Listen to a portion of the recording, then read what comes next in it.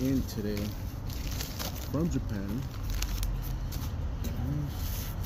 I'll show you guys right now what I'm gonna pair it with. Oh look, tackleberry.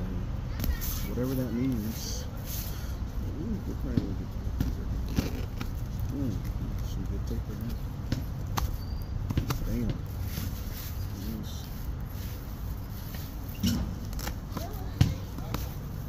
Cut away from you.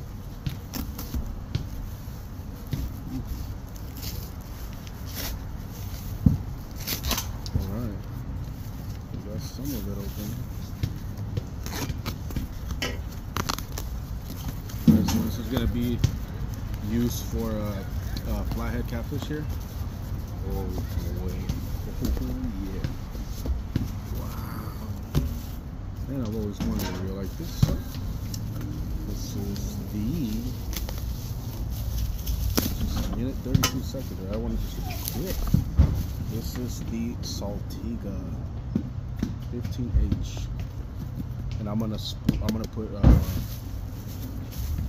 40 pound J braid on this. Yeah, with everything.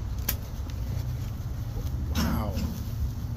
Yes, this is gonna be a fun little setup, but enough to get the job done. You know what I mean? Wow, very nice.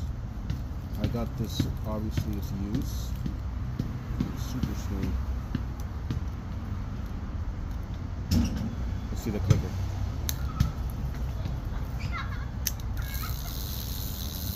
It's not that loud, but I will be pairing this with whisker stick. This is the, um, obviously it's a whisker stick. It's uh, 38 inches. So yeah, this is gonna be a super, super fun setup. Um, like I said, it's, it's to be uh, to target uh, big flatties out here. We have 50 pound, 60, even 70 pound flathead catfish out here. And um, uh, this one river out there in Imperial. Oh, yeah, it's going to be super fun. I mean, can you imagine? Yeah, and then whenever I want to take it to the salt, use it for rockfish, we can do it. Or maybe for some yellowtail. But it's a super fun little reel. Um, a super fun little setup. I'm, I'm uh, you know, I'm pretty sure it's going to be super fun. But yeah, just a quick unboxing. And uh, yeah, stay tuned. And uh, I'm gonna be making videos soon with this little setup. So yeah, will see it in action and see what it's like.